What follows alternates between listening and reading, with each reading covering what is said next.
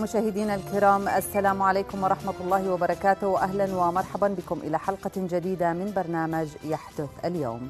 نود أن نذكر مشاهدينا الأعزاء بطرق التواصل معنا عبر صفحتنا الخاصة على الفيسبوك لاستقبال الصور والفيديو على عنوانها يحدث اليوم at facebook.com بالإضافة إلى رقم الواتساب 078 0450 450 وهنالك رقم مباشر لاستقبال الشكاوى والملاحظات وهو 06 4 773 111 ويسعد فريق البرنامج أن يتم التواصل معه من خلال هذه العناوين.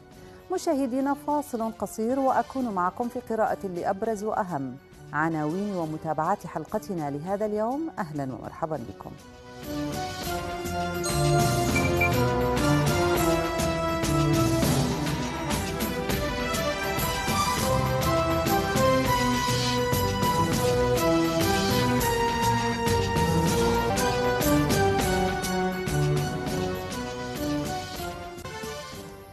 مشاهدينا أهلا ومرحبا بكم من جديد وأقرأ على حضراتكم أهم متابعات وقضايا حلقتنا لهذا اليوم وفي العنوان الأول المملكة تتأثر غدا بامتداد منخفض جوي.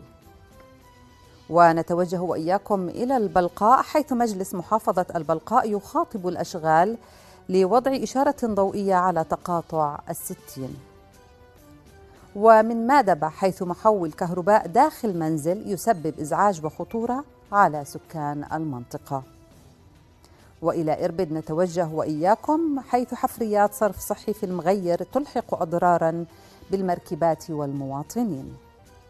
ومن كفر كفرنجة عمود كهرباء آيل للسقوط يشكل خطورة كبيرة على المارة وأخيرا ومتابعة من مادبه كانت قد أثيرت بالأمس الاصطفاف العشوائي يعيق حركة المرور. إذا مشاهدينا هذه أهم متابعات وقضايا حلقتنا لهذا اليوم. فاصل قصير وأكون معكم في أولى هذه العناوين.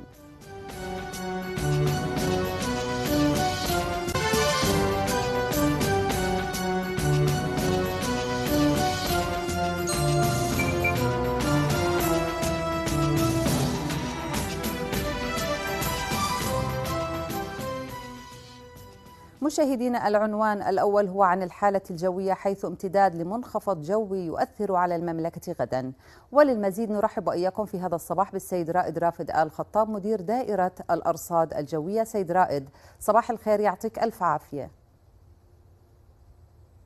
إذا سيكون ضيفي في المتابعة الأولى السيد رائد رافد آل خطاب مدير دائرة الأرصاد الجوية وسنتحدث عن تأثير منخفض جوي سيؤثر على المملكة بإذن الله في الغد.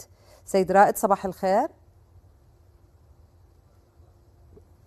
إذا إذا السيد رائد رافد يعني نحن الآن نمر كنا بحالة انخفاض على درجات الحرارة وأيضا سنتحول وإياكم إذا نحاول نحن الآن الاتصال بالسيد رائد رافد حتى نأخذ منه تفاصيل الحالة الجوية لليوم وغدا ثلاثة أيام تقريبا مقبلة وسنتحدث عن تأثير هذا المنخفض الجوي والذي نأمل من الله أن يكون محملا بالخير وبالبركة بالأمطار.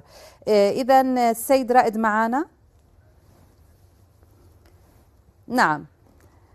إذا فقدنا الاتصال مع السيد رائد رافد الخطاب وسنتحدث عن الحالة الجوية في حال تم التواصل مع السيد رائد وسنتحدث عن منخفض جوي حيث يعني في مرات سابقة كنا قد تحدثنا في أنه في منتصف الشهر الحالي شهر 11 سيكون هنالك حركة لوجود منخفضات جوية تلوح في الأفق قد تؤثر وتؤدي إلى انخفاض درجات الحرارة وأيضا سقوط الأمطار.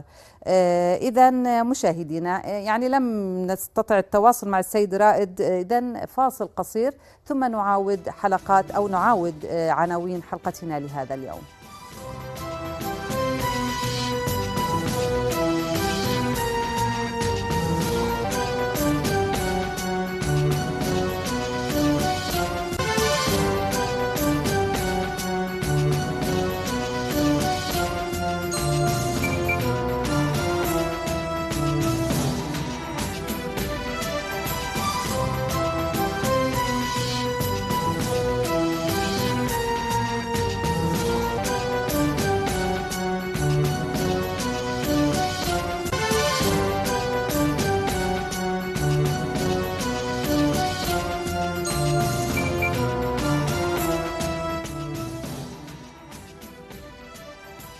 مشاهدينا نتوجه وإياكم إلى البلقاء ومن البلقاء مجلس محافظة البلقاء يخاطب الأشغال لوضع إشارة ضوئية على تقاطع الستين.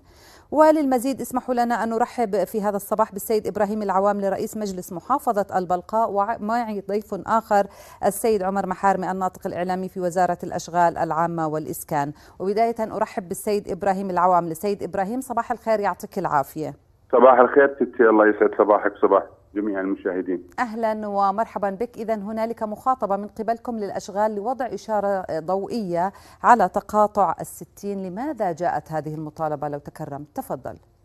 نعم ستي آه نتيجة المطالبات المستمرة من قبل المواطنين. سكان سكان منطقة شارع الستين وموظفين جامعة البلقة. آه دائما بيجينا طلبات منهم بأنه هذه الإشارة فيها أكثر من مشكلة، المشكلة الأولى إنه في آه، محطة محروقات بعديها بكون في معاكسة للسير آه، من خلالها. المشكلة الثانية إنه بتعرفي أوقات الدوام آه، جامعة البلقة وفي وجود أيضا مدرسة حسني فريز في عدد ضخم جدا من الموظفين والطلاب. فهذا نعم. في فترات الصباح وفترات ما بعد الظهر بيكون في أزمة كثير على على هذا التقاطع بالذات نعم. يعيق حركة شارع 60 اللي هي الغاية منه كانت أنه يكون شارع انسيابي ويسهل الحركة باتجاه آه الأغوار ومنطقة عيرة ويرقة نعم نعم إذا هنالك رؤية بأن وضع آه، هذه الإشارة يخفف من هذه الاختناقات المرورية التي تحصل على شارع الستين آه، وقد يعني تنهي أو يعني تخلي الشارع مثلا عمل لأن يكون به حركة انسيابية هذه المطالبات هل تقدمتم بها إلى الأشغال؟ في مطالبات سابقة للأشغال نعم. وبعثنا آه، قبل فترة أيضا كتاب لاحق لكتابنا ولحديث الآن إحنا كمجلس محافظة ما وصلنا الرد بالطريقة الرسمية. متى كانت آخر مطالبة لو تكرمت؟ آخر مطالبة قبل أسبوع تقريبا. نعم قبل أسبوع كان سابقها مطالبات أخرى أيضا. كان في موجود مطالبات ومن خلال عطوفة المحافظ أيضا وأعتقد إنه كانت الكتب توجه للوزارة. نعم، طيب هل هنالك أي إضافة سيد إبراهيم قبل أن أنتقل إلى السيد عمر محارمة؟ يعني بتمنى بتمنى إنه يكون في سرعة استجابة. بالحلول أو عمل دراسة آه، إذا ما كان في إمكانية لعمل آه، إشارة ضوئية يكون في أي حل آخر نعم. لهذه المشكلة اللي بيعاني منها مواطنينا. إن شاء الله. وشكرا لك. واسمح لنا أن نرحب بالسيد عمر محارمي الناطق الإعلامي في وزارة الأشغال العامة والإسكان سيد عمر صباح الخير يعطيك العافية. صباح الخير لك ولكل مشاهدي شاشتنا الوطنية. أهلا ومرحبا بك. إذا هنالك مطالبات من مجلس المحافظة بوضع إشارة ضوئية على نعم. تقاطع نعم. الستين. يعني نعم. آخر مطالبة يعني كانت قدمت لكم قبل أسبوع. يعني إحنا حابين نعرف هل تتفقون؟ وإن كانت هنالك موافقة متى سيكون هذا الإجراء؟ تفضل. شكرا ستي. الحقيقة وصل أكثر من طلب يعني نعم. سواء من مجلس المحافظة وإخواننا في محافظة البلقاء أو من مواطنين تقدموا بطلبات حول الموضوع. نعم. آه، خلال شهر آه، آذار الماضي تم عمل دراسة مرورية للموقع بناء على هذه المطالبات. نعم ويعني خلاصة الدراسة المرورية اللي, اللي نفذوها مهندسي الوزارة بالإضافة للإخوان بالأمن العام في المعهد المروري آه، كانت التوصية بعدم إقامة إشارة ضوئية في الموقع لأنه بتعرف فكرة الطرق الدائرية توفير انسيابية حركة المرور دون توقف أه. ووجود التقاطعات المحكومة بإشارات ضوئية أو دواوير أحيانا بتعيق حركة السير وبتخفف من انسيابيه المرور على هاي الطرقات. نعم. الموقع اللي حكى عنه آه، أخونا إبراهيم فعلا في عليه مخالفات وليس عليه يعني ما عليه انسيابية حركة عالية تتطلب وجود إشارة ضوئية، عليه مخالفات في معاكسات للسير من الخارجين من محطة المحروقات القريبة من الموقع آه، من بعض طلاب الجامعة اللي بيخالفوا أو بيعكسوا السير حتى يختصروا على حالهم مسافة الذهاب لأقرب نقطة التفاف. نعم. الموقع بتطلب تكثيف الرقابة الأمنية عليه، ممكن يكون في دراسة يعني جديدة آه، راح ننفذها بناء على الطلب اللي وصلنا مؤخرا من مجلس المحافظة آه، نشوف إذا كان في مجال بال بال يعني العمل على الجزر الوسطية على ال ال الأرصفة الجانبية بحيث نمنع قصة لا يوجد في الموقع الم... الذي نتحدث عنه جزيرة وسطية؟ لا في, في أنا بحكي عن تعديلات عليها أه. بحيث نمنع قصة معاكسه السير وبحيث نوفر آه انسيابية للحركة على هذا الطريق، بإذن الله الموضوع آه، خلال أيام سيتم آه، دراسته نعم. من قبل المهندسين مرة أخرى. نعم. وإذا تبين إنه يعني في تغييرات تستلزم وجود آه، إشارة ضوئية يعني راح نمشي بالإجراءات نعم. نعم. اذا سيكون هنالك فريق هندسي يزور الموقع وستكون له الكلمة الأخيرة في حال كان هنالك يعني جدوى من وجود إشارة ضوئية لأن المخالفات هي فردية من بعض المواطنين. نعم. آه، شاكرين لك سيد عمر وسنتابع هذا الموضوع يعني بعد الانتهاء من هذه الدراسة. شكرا لضيفي في هذه المتابعة السيد عمر محارمي الناطق الإعلام في وزارة الأشغال العامة والإسكان والسيد إبراهيم العوام لرئيس مجلس محافظة البلقاء. شكرا لكما. أعزائي المشاهدين فاصل قصير ثم متابعة جديدة بإذن الله.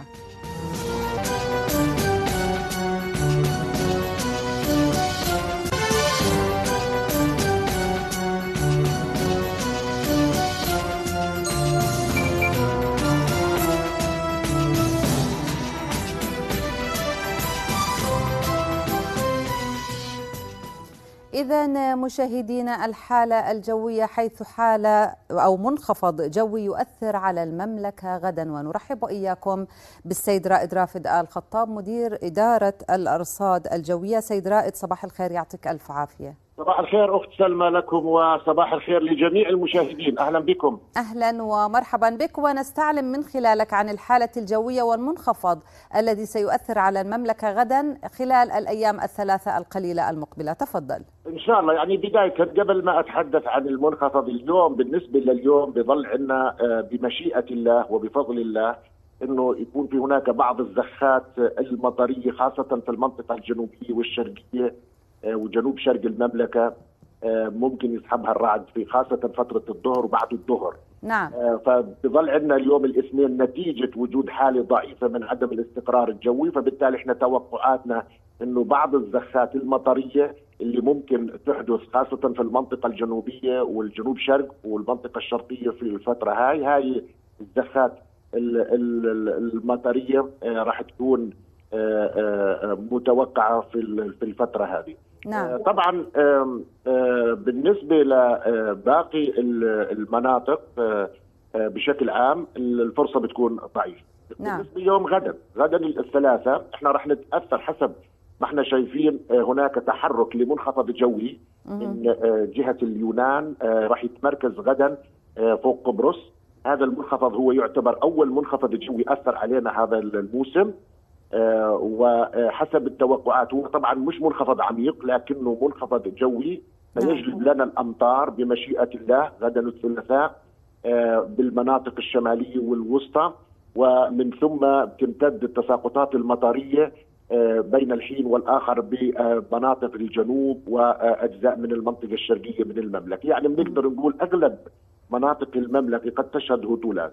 حسب نعم. المؤشرات والتوقعات راح يكون في هناك في بعض الفترات آه، هطولات مطرية قد تكون لفترات محدودة غزيرة مصحوبة بحدوث الرعد وفرصة تساقط حبات من البرد وبالتالي نعم. إحنا بالنسبة ليوم الغد آه، برضو كمان آه، راح يكون في انخفاض على درجة الحرارة. يعني آه، بكرة الثلاثاء أخت سلمى نعم. راح يكون في حوالي انخفاض ملموس يعني بحدود تقريبا خمس درجات ما بين أربع لخمس درجات عن اليوم. فبالتالي راح نشعر شوي بالبرد نعم. مقارنة بالأيام اللي إحنا شفناها. فراح يكون الجو نوعا ما بارد نسبيا وبدنا ننتبه لهي النقطة إنه في تغيير بشكل عام بالكتلة الهوائية المؤثرة.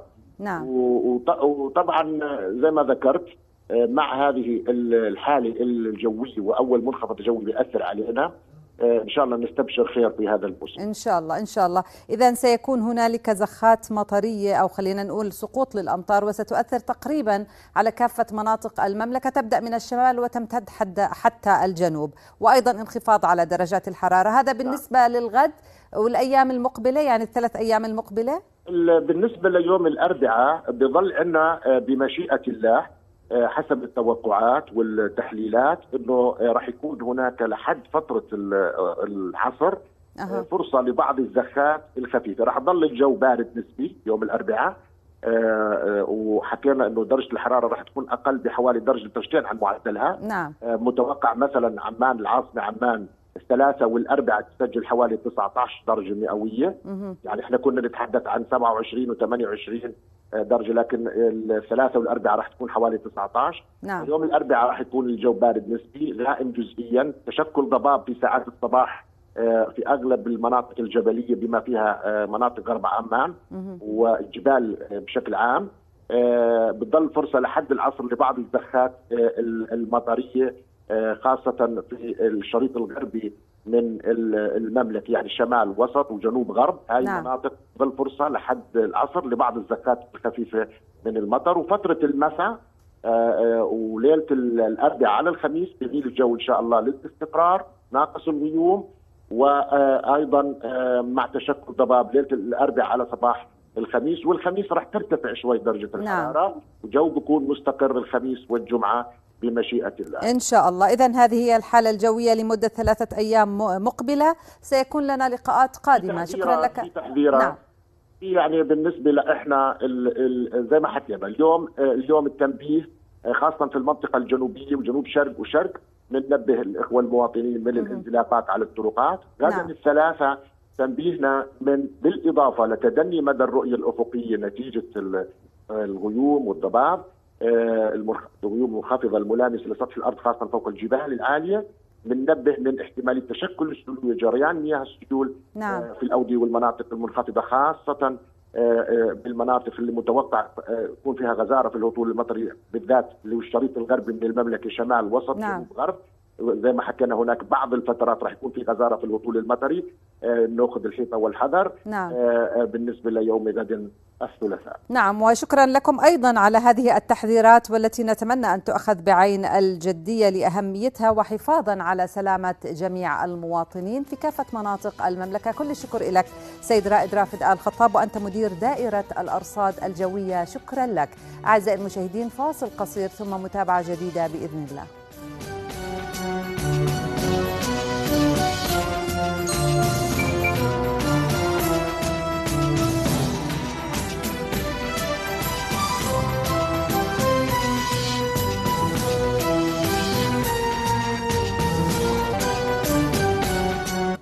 مشاهدينا ونتوجه وإياكم إلى مادبه ومن مادبه الاصطفاف العشوائي يعيق حركة المرور. وهذه متابعة كانت قد أثيرت معنا في برنامج يحدث اليوم بالأمس. واسمحوا لنا أن نرحب في هذا الصباح بالسيد عارف الرواجيف رئيس بلدية مادبه سيد عارف صباح الخير يعطيك ألف عافية. يا هلا صباح الخير. أهلا ومرحبا بك. بالأمس كنا قد تحدثنا معك عن هنالك اصطفاف عشوائي يؤثر على حركة المرور في مادبة. وأطلعتنا على بعض الحلول. ما الجديد في هذا الصباح؟ تفضل. بداية شكرا لكم لإيضاح مزيد من التفاصيل حول معالجة بلدية مادبة الكبرى لهذه الأزمات المؤقتة اللي هي بالعادة دائما آخر الشهر. لأنه قلب المدينة في عدد من البنوك المتجاورة وأزمة الرواتب و وما شابه ذلك. نعم. سيدتي إحنا وجدنا من المهم إنه نوفر طريق دائري يخفف من الأزمات داخل المدينة. نعم. فلذلك ربطنا الشارع الرئيسي مدخل مادب الشرقي شارع الملك عبد الله حفظ الله ورعاه بشارع الملكه رانيا بتواصل مع شارع مكة. نعم. وهذا الشارع الدائري لمادبة يلتف حول مدينة مادبة من الجهة الشمالية الغربية الجنوبية. نعم. بمعنى يلتقي مع الثلاث شوارع حتى الداخل لمدينة مادبة ما يدخل المدينة وبنفس الوقت في حالة وجود أزمات يكون في طريق بديل إنه يقدر يتحرك من خلالها. نعم. وأيضا لابد من الإشارة أن هناك ست مواقف عامة مجانية داخل المدينة. أها. مساحات معبدة ومجهزه لاستقبال سيارات إخوان المواطنين مجانا نعم سيد عارف لابد- هذه المواقف المجانية هل هي قريبة من وسط المدينة هي في والتي يصبح بها ال- المدينة. تصبح بها في الأزمة يعني. هي في وسط المدينة نعم. ومجاورة تماما حتى لمبنى البلدية و... آه، وأيضا لابد من الإشارة والشكر إلى آه، يعني إلى آه، مدرسة الروم في ساحة أيضا عامة آه، بيقفن بها السيارات لكن كونه خاص وبتقاضى مبلغ بسيط من نعم. إخوان المواطنين نعم الآن يا سيدتي إحنا نبحث الآن في وسط مادبة الجميل الذي أنفق عليه مبلغ 6 مليون في عام 2007 نعم. آه، من شوارع آه، وخدمات بنية تحتية مميزة.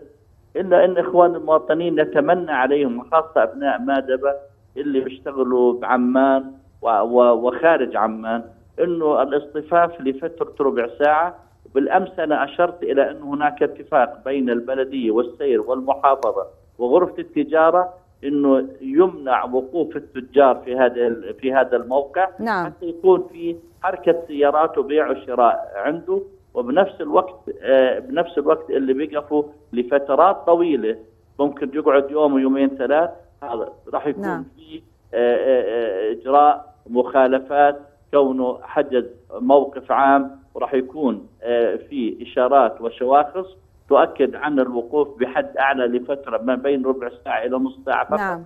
وبعدها يتم تحرير المخالفة نعم إذا يعني حابين إنه نشير من خلالك سيد عارف إلى من يستمع لنا بأن استخدام هذه المواقف ستكون متاحة فقط من مدة ربع ساعة إلى نصف ساعة ومن ثم سيكون هنالك تعاون طبعا أو يوجد تعاون مع السير والمحافظة ومع كثير من المؤسسات الوطنية من أجل منع هذه الازدحامات. بتقديم يعني بإعطاء مخالفات مرورية نعم صحيح نعم. تم ال- اللقاء أكثر من مرة بحضور رئيس غرفة تجارة مادب ورئيس قسم السير ومندوب من المحافظة والبلدية نعم. اتفقنا والأشغال واتفقنا على أنه لابد من التوعية أولا نعم. وبعدها بيكون في الإجراء لأنه إحنا مش حابين نخالف لكن إحنا حابين صحيح. في طريقة تنظيمية لهذه العملية نعم إذا أكثر من إجراء يعمل به حاليا للحد من الحركة ال- الاصطفاف العشوائي وإعاقة الحركة داخل وسط مدينة مادبة وكل الشكر لك سيد عارف إذا في شكراً. إضافة قبل أن أختم لو تكرمت شكرا لكم وكل الاحترام والتقدير لهذه المؤسسة الرائدة في كل مجالات اللي إحنا بنتابعها وجهودكم طيبة ومباركة كل الاحترام والتقدير لك سيد عارف الرواجيح وأنت رئيس بلدية مادبة ويعطيكم العافية على الجهود التي تبذلونها من أجل تنظيم الوسط التجاري داخل مدينة مادبة شكرا لك. أعزائي المشاهدين فاصل قصير ثم متابعة جديدة بإذن الله.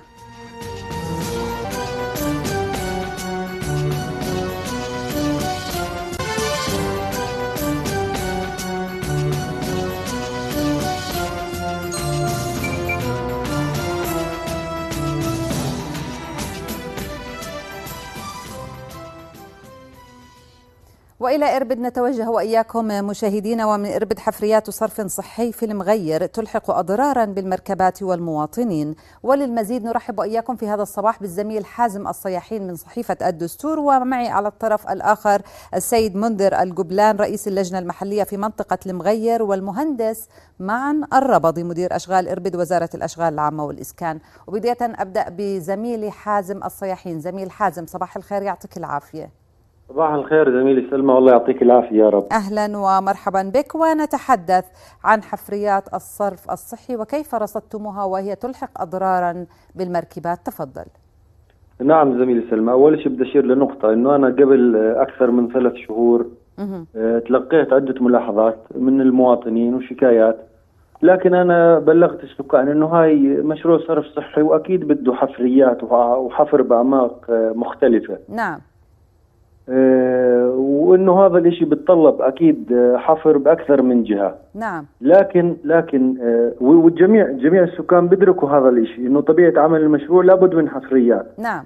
لكن المشكلة اللي صارت زميلي سلمى من أسبوعين وجاي أو أكثر وعادت الاتصالات أيضا والشكاوى إنه هاي الحفريات تركت تركت على طول الشارع الرئيسي اللي هو مدخل البلدة. نعم. والشوارع الفرعية أيضا. تركت بدون تسفيت. مهم. وهذا الإشي بتعرفي يعني حفريات كبيرة ومختلفة مركبات على مدار الثانية. نعم.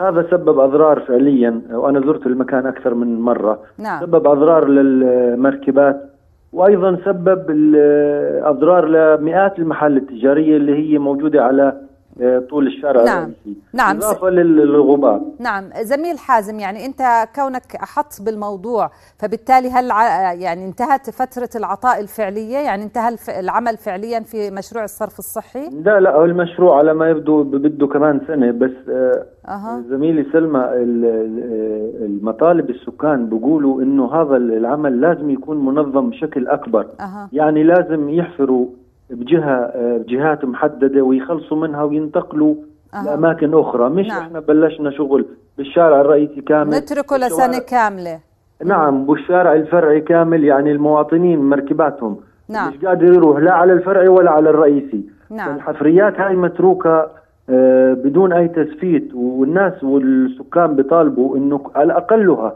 نعم. كل كيلو متر بخلصوه كل يتم كيلو متر تسفيته مهم.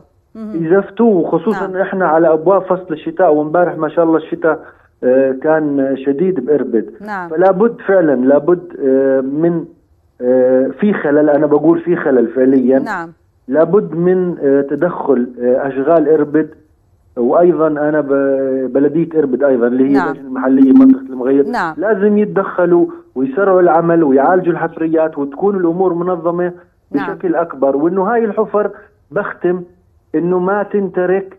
يعني أنا زرت المكان وأي سيارة الآن بتزورها والله ما بتقدر تفوت المغير نعم. لازم طيب. ما تنترك لهاي لفترة صحيح. طويلة. أتفق معك سيد زميل حازم وأيضا هو حق لأهلنا ومطلب طبعا في المغير. وأشكرك وأنتقل وأرحب بالسيد منذر القبلان رئيس اللجنة المحلية في منطقة المغير. سيد منذر صباح الخير يعطيك العافية. الله يعافيك أهلا ومرحبا بك. اذا على ما أتوقع ما طرحه زميلي حازم هو حق ومطلب يعني طبيعي لأهلنا في المنطقة بعد الانتهاء من العمل في مقطع معين من مشروع الصرف الصحي يجب أن يتم الانتهاء منه وتعبيد هذه المنطقة حتى نزيل الضرر الذي يلحق بالمركبات والمواطنين وخاصة في مدخل هذه ال- البلدة. تفضل. الله يعطيك العافيه يعافيك. مصب عليكم مصب على وطننا الجميل وعلى جلال سيدنا وإن شاء الله ندعي لاهلنا في غزة إن شاء الله يقف معهم ويفك كربهم إن شاء الله. آمين خي الشارع الرئيسي آه، آه، ظل مغير فيها الشارع الرئيسي بطول حوالي 6 كيلو متر. لكن مشكلتنا بالشارع الرئيسي إنه هو صلاحية الأشغال العامة وليس صلاحية البلدية ومع ذلك إحنا كنا نتدخل مع الأشغال العامة في هذا الموضوع. نعم يعني ما نثير حاليا هذه النقطة الشارع وهذا ما نثير حاليا هو تابع للأشغال العامة تابع للأشغال العامة نعم. نعم فالشارع الرئيسي خي يوجد فيه أربع خطوط ضغط بالإضافة إلى أكثر من 100 وصله 100 وصله منزلية. نعم. ولكن يوجد العديد من العوائق مثل خط خطوط المياه الرئيسية، خطوط الاتصالات، الكهرباء، آه، خطوط المياه الفرعيه مما يؤدي إلى تأخير آه، بعض الأعمال نتيجة هذه الأمور، بالإضافة إلى أعماق الصرف الصحي اللي قد تصل إلى أكثر من 50 متر في بعض آه، المناطق. نعم. نعم. وفي أعماق تصل ل 8 متر في بعض الشوارع البلدية الفرعية الرئيسية. صحيح هذه الأعماق هذه الأعماق تترك مفتوحة حتى بعد انتهاء العمل بها؟ لا لا لا هو آه، يعني مدير المشروع أو هاي بعيدوا الإنشاء بشكلوها base course مادة ال base course مبدئيا. بس على ما يبدو أنه أيضا حتى ال ال ال هذه التغطية بال base course هي أيضا تشكل مشكلة يعني تسبب مشاكل للسيارات. لأنه قد يكون في تفاوت في الارتفاع. آه، وهذا طبعا آه، يعني أنتم أدرى بهذه المشاريع وما أثاره الزميل حازم.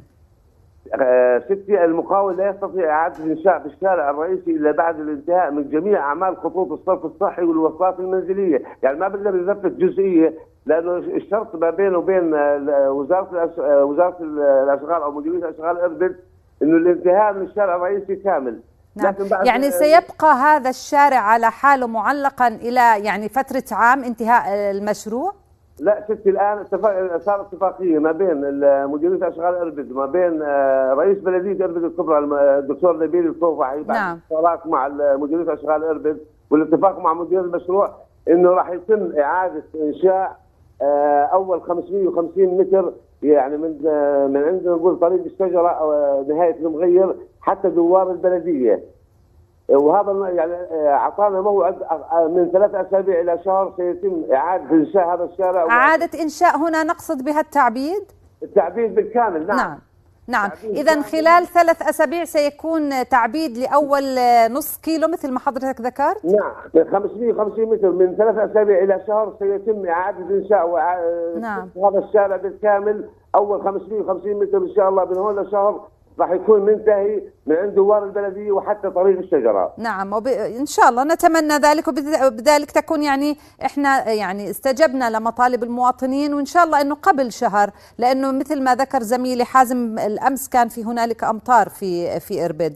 نعم آه نعم صحيح ليلة البارحة كان في أمطار. نعم المواطنين طبعا هم مستعين إحنا عارفين وإحنا لكن هذا مشروع ضخم بده شوية صبر. أنا قلت لك هاي الوصفه بس ما هو في ضرر أيضا يعني قد يعني قد يكون هنالك حلول أكثر يعني يتمناها المواطن. اسمح لي إني أشكرك وأرحب وأنتقل بالمهندس معن الربضي مدير أشغال إربد وزارة الأشغال العامة والإسكان. مهندس معن صباح الخير يعطيك العافية.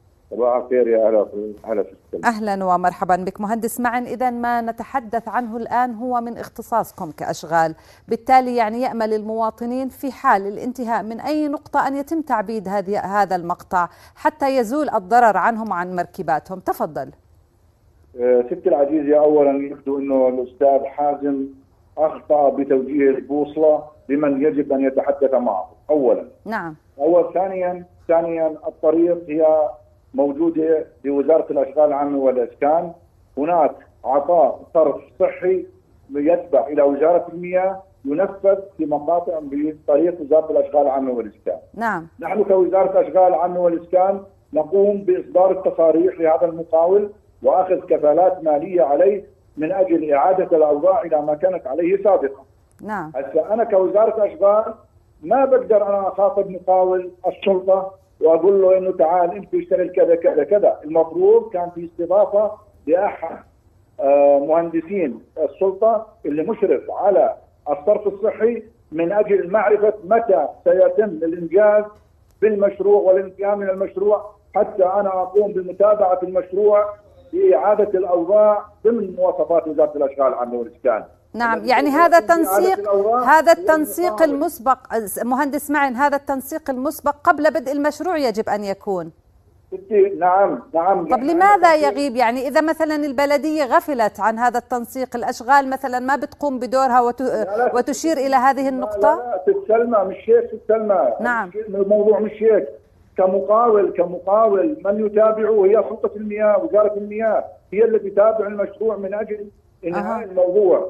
من أجل الانتهاء من الموضوع، هسه أنا بكتب بكتب قاعد بوجه خطابات شبه يومية إلى وزارة المياه يا عمي ما أعطاك وتأخر، في عندنا فصل شتاء قادم، أما من ناحية إعادة الأوضاع أنا كوزارة أشغال لن أقبل بإعادة الأوضاع إلا بعملية تعديد كاملة لهذا الجزء من الطريق. نعم، يعني يجب أن يكون طرف معنا حتى نكمل يعني الموضوع بمهنية أن تكون المياه معنا في هذا الحوار. نعم صحيح. نعم. نعم.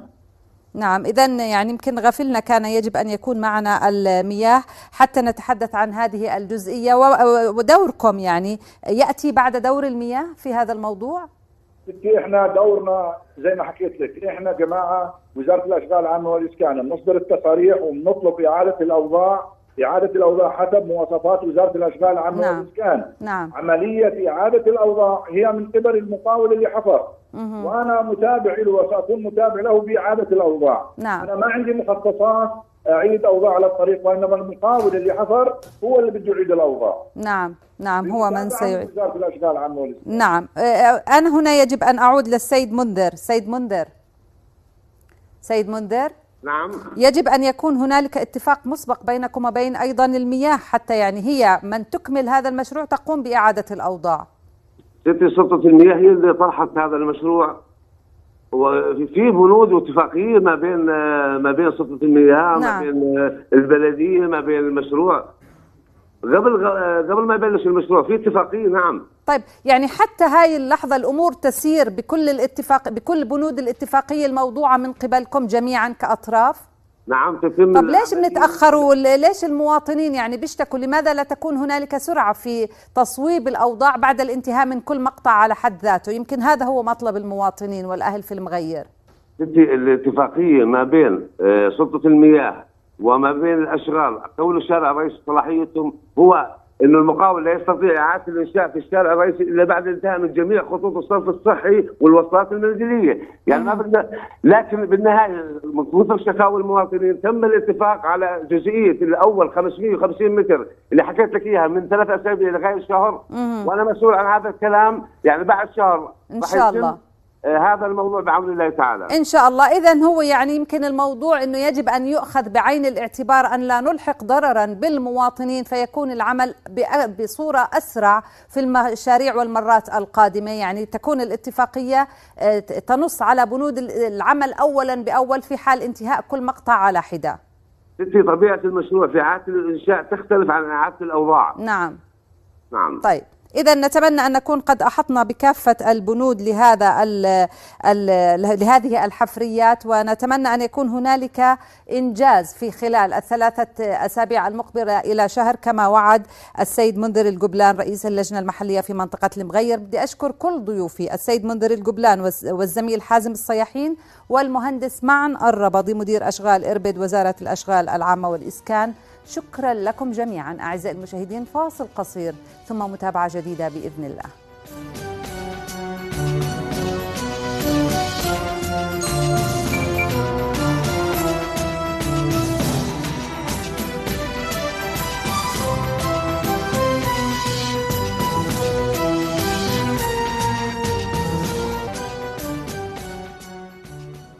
إذا مشاهدينا المتابعة الأخيرة وهي من مادبة أيضا حيث محول كهرباء داخل منزل يسبب إزعاج وخطورة على سكان المنطقة. وللمزيد نرحب وإياكم في هذا الصباح بالسيد عبد الله الطيب وعلى الطرف الآخر المهندس أيمن الترتوري مدير مكتب كهرباء مادبة. وبداية أبدأ بالأخ عبد الله أخي عبد الله صباح الخير يعطيك العافية. الله يسعد صباحك ستي الله يسعد صباحكم جميعا يا الله. أهلا ومرحبا بك. الله الله يعطيكم العافية. الله يعافيك. إذا ضعنا في تفاصيل محول الكهرباء اللي موجود داخل منزل. ويؤثر ويشكل خطورة وإزعاج على المجاورين. تفضل. والله أول شيء أنا بصب على الأستاذ مع المهندس يا رب الله يسعد صباحه. فإحنا والله يا ستي هذا الشيء بنعانيه من ال 87 نعم. من ال 87 وهم مستاجرين منا قطعة الأرض اللي طبعا 6 ب 6 طبعا داخل البيت هي. أه. وليس خارج البيت داخل البيت. نعم. يعني أنا مجرد أني أنا قاعد في البيت مطلع على المحول. فأنت نعم. بتعرفي خطورة المحول وبتعرفي طبعا والله خطورة ما يعلم فيها إلا ربك طبعا. وأنت نعم. وأنت ست الفهمات. وانت عارفة إنه يعني بس بالنسبة للسلامة العامة هذا ما في سلامة عامة نهائي بالنسبة لنا. نعم. فهمتي؟ نعم. طب الاستئجار يعني الاست... خليك معي سيد عبد الله الاستئجار حصل في العام 87 يعني كانت نعم. المنطقة يعني فاضية ما فيش فيها هذا البناء ما فيها دور يعني وما فيها نهائي. يعني أربع خمس دور كانت المنطقة. نعم. الآن أصبحت مكتظة يعني؟ شو مكتظه ما شاء الله يعني ما فيش مجال للسكنات صار عندنا. طيب يعني طب لماذا لم تطالبوا منذ أن بدأ البناء بإزالة هذا أو نقل هذا المحول؟ والله يا ستي طلبنا. نعم. طلبنا وحاولنا نصل آه، مادبه قالوا لنا إحنا مادبه ما عندنا دخل هذا اختصاص عمان. نعم. رحنا على عمان. آه، عمان طبعا حاولنا يعني نتقابل مع مدير العام تبع شركة الكهرباء. أه. طبعا من ضمن الاستدعاءات من ضمن واسطات من ضمن من ضمن ما حصلنا نقدر نتعامل مع أي واحد شركة الكهرباء نهائي. نعم. يعني كل الاستدعيات عفوا من حضرتك سيد عبد الله أنت صاحب قطعة الأرض؟ نعم أنا طيب. أنا أو إخواني يعني طيب. هي. خليك معي. كل الاستدعاءات التي قدمت من قبلكم إلى شركة الكهرباء الرئيسة في عمان لم يتم لم يتم الإجابة عليها. نهائي, نهائي. نعم. والمشكلة آه، بعيدا عن الإزعاج يعني شو في مشاكل أخرى خلينا نحكي عنها؟ مشاكل أخرى. طبعا أنا عندي خطورة أول م. مبدأ خطورة. نعم. ثاني شيء حتى الأرض يعني الأرض آه بهط آه سعرها. يعني نعم. حاولنا نبيعها عشان نخلص من المحول والله أي واحد بيتفرج عليه نعم. المحول طيب طيب عناصر الحماية موجودة حول محول الكهرباء؟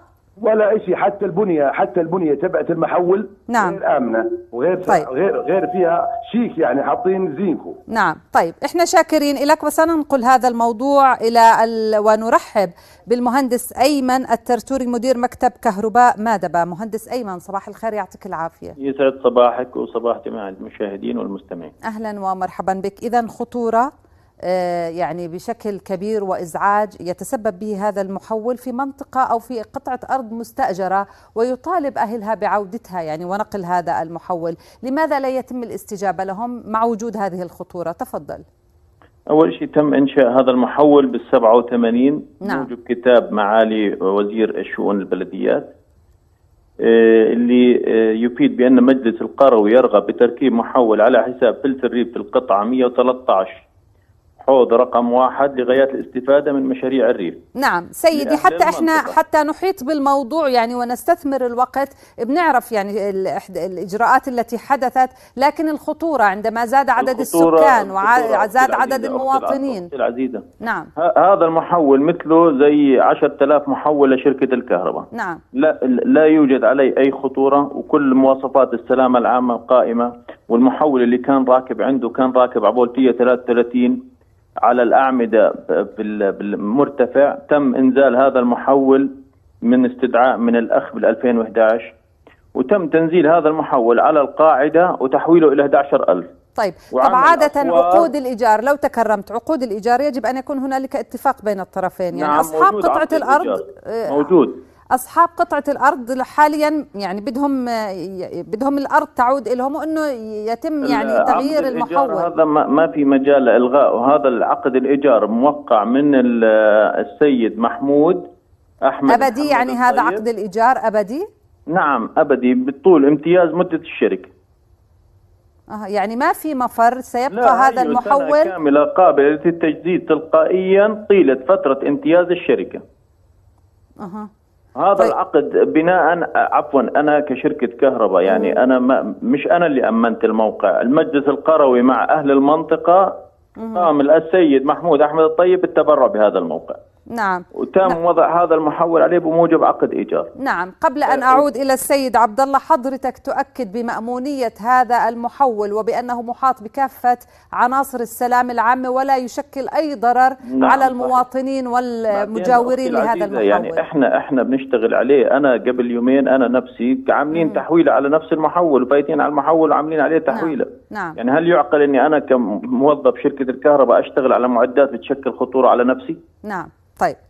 شاكرين لك مهندس أيمن الترتوري وهذا الرد الرسمي من مدير مكتب كهرباء مادبه وساعود إلى السيد عبد الله سيد عبد الله هنالك عقد موقع بينكم وهو غير قابل للفصل يعني هذا العقد. العقد انت عارف شو العقد؟ العقد أجار خمس سنين خمس دنانير بالسنة.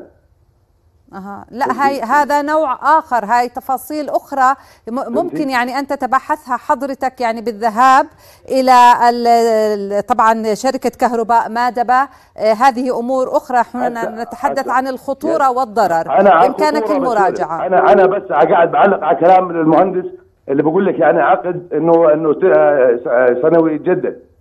هسه أنا هاي أنا خطورة. العقد لا يد لنا بها. نعم نعم. راجعهم. سيد عبد الله راجعهم سيد عبد الله وإن شاء الله سيكون هنالك يمكن حلول مقدمة إلى حضرتك. اسمح لي إني أشكرك على إثارة هذا الموضوع السيد عبد الله الطيب والمهندس أيمن الترتوري مدير مكتب كهرباء مادبة. شكرا لكما. أعزائي المشاهدين بهذه المتابعة نكون قد وصلنا وإياكم إلى نهاية حلقتنا لهذا اليوم. في أمان الله نترككم. والسلام عليكم ورحمة الله وبركاته.